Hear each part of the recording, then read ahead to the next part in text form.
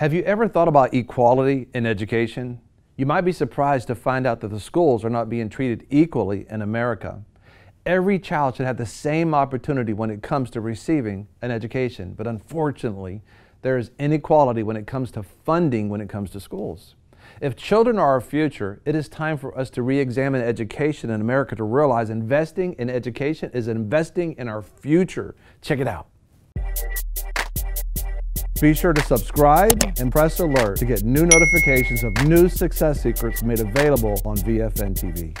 We call ourselves a Christian nation. We should have been concerned about the health care of every individual in America. Yeah. We should have been, been concerned about the economic um, uh, unbalances in America, and we should have been just as concerned about uh, Shaniqua's school or, or about Bobby's school. I mean, Yeah. you know what I'm saying? They, we should have equal concern. Every school in America should be funded equally, funded equally, and in the fact that if in fact that I'm coming up economically challenged because of our history, then you need to lean towards and maybe do 60 40 in the distribution of funds because I'm a human being and I can learn and I can do business and I could be your boss one day or maybe I can work for you. But I deserve an equal opportunity to match up for what my journey is in this country so that we can all rise together. And so these things have been unba- unbalanced for quite some time. So just getting back real quickly to understanding, you know, the chickens coming home to roost, that um, that we need to understand how government works because it's our government. And the way that most schools are funded, it's funded off the tax dollars based on property tax. And which means is if Bobby's school is surrounded by $100,000 homes plus up to a million, and in that particular district and has district representatives and you get representative government, then that means then is a higher chance that that school is going to have higher funding, Mhm. higher dollar base because it's, it's based on those properties. So you have a million dollar property or hundred thousand dollar property.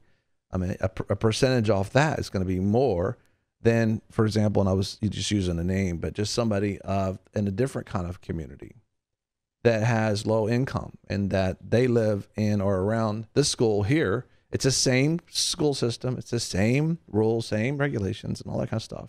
But the funding is different the funding's different because this school is surrounded by 60 30 20000 dollar homes yes you understand uh, but they give a percentage off of that if it's you know and really it's got uh, exemptions and out galore when it gets below a Mhm. certain amount anyway but just say they get a percentage off of $20000 that's different than a percentage off of $100000 and then the school's surrounded by low income housing. Well, they- that is tax provided money. So there's no tax dollars going to be coming off that to the school system.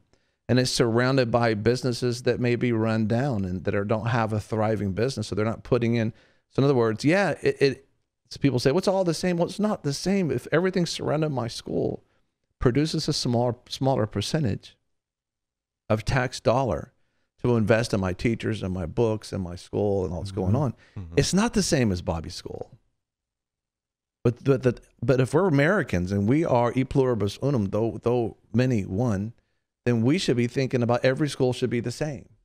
Right. Every school, every every kid should have the same opportunity. As Christians, we definitely should be thinking about, you know, why are the books given to Bobby's school, state of the art, whatever, Right. and going to Shaniqua's school or, or Jennifer's school or you know Stan's school or whatever, who's in that surrounding. This it's like third third use underlined. Mhm. Uh, the teachers are just trying to barely make it by because they're not getting the same pay. I mean, just the whole mindset of saying, well, if I have to go to that school that's surrounded by that, it's going to be more difficult for me because they don't invest in that school the way they invest in this school, and I have a greater chance. That whole environment is against that kid learning. Mhm. In the eyes of God, that's not that's not that's not for us as Christians. I mean, That's we're talking about you know what America should do, but we as Christians shouldn't be marching into some line saying we don't care about the injustices and the Right. imbalances. And this is the difficult thing. All these things that are happening, yeah, they are unjust. Some of these things that are happening right now, like a chief judge making law and judge making law Mhm. and these different things going on, but that was unjust for years in America, and we still have those inequalities. The church stands up for those Mhm. inequalities, and I really believe this I think it's time for the church to wake up and become it's have a school. I Have two schools. One school is the evangelistic school that is is um, that is reaching out to the lost, and you know we hope in this process of education that you're going to meet God. Mhm.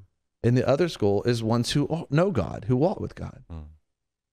And that school can make the other school a ministry, but there should be two of those types of schools. You shouldn't mix in the ones trying to find God with the ones who are in the fresh walk with God, because you'll find out, just like the university, 70% of Christians go to public universities. They leave their faith, 70%. percent And the ones that go to Christian universities, because just because you go to Christian university don't mean you're a Christian or you're walking close to God. Mm. 50% leave their faith, which means they go to hell. That's what that means. Yeah. They leave Wow. God. We have these statistics for you in the VFN Torch. So I think I really, I'm starting to see that uh, potentially begin to pray about, you know what? We need to start two schools. One school needs to be evangelistic, which we can teach everybody, you know, teach uh, Shaniqua or Stan or they're surrounded in unequal circumstances and, mm-hmm. and just poor finances and, and attention to them. And, and if they're not saved, they're, they're, they're Christians, get them into this other particular Yeah. school and they can make that school their ministry. And this particular school is, it's serious. This is a serious school. We walk with Jesus here. This is what we do. This is, I mean, this, somebody says, well, this sounds a lot like Teen Challenge. You're a teen and this is a challenge. And this is school. we don't apologize for Jesus. We don't apologize for the word. That's right. You know, we we teach Christianity. We teach you know biblical perspective of the world, and and you just go, well, I don't know. It's like, ah, you're in the evangelistic school. you know, that's cool. We got a we got a school right here for you. Hopefully, you'll find your way to understand that that God is the creator of the universe. Jesus holds everything together, and He's the one that sustains life. And uh, you see the difference? It's Yeah, like, okay, yeah. now we because what happens is, you know, quite often people say, you know, I just really want Bobby to know Jesus.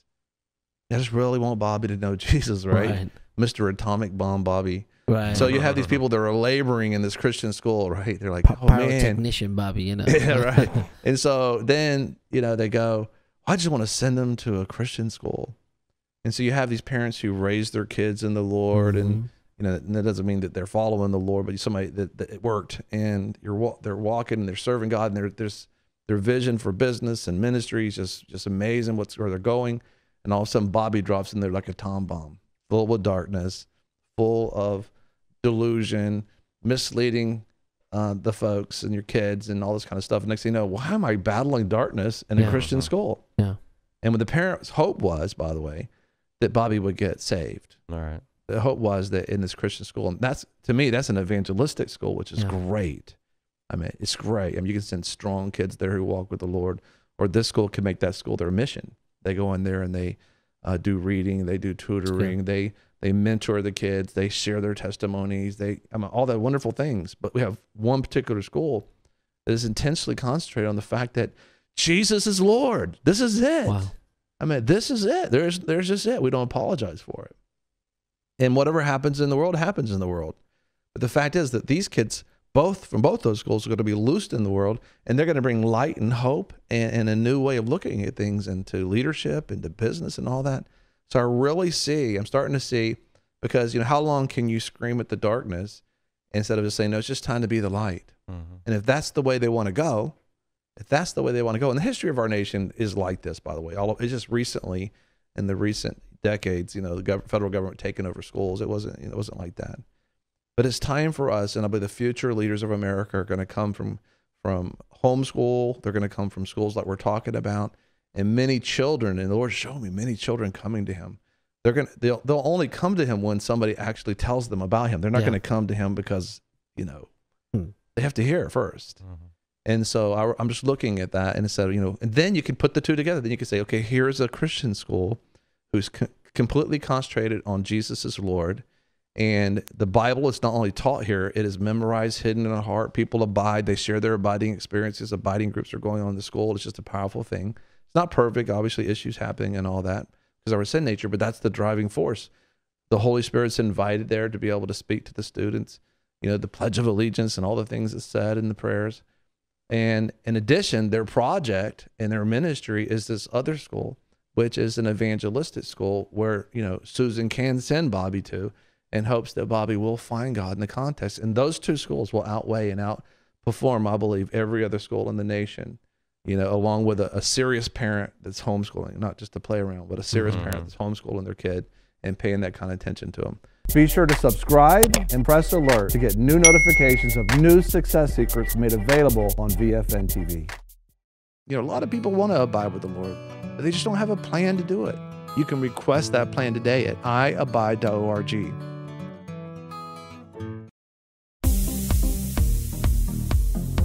I'm your host, Greg Lancaster, and we're so glad that you've joined us. Don't forget you can join us 24 hours a day, seven days a week. Download our app and sign up for our newsletter, The Torch, at VFNTV.com. I've enjoyed our time together. God bless.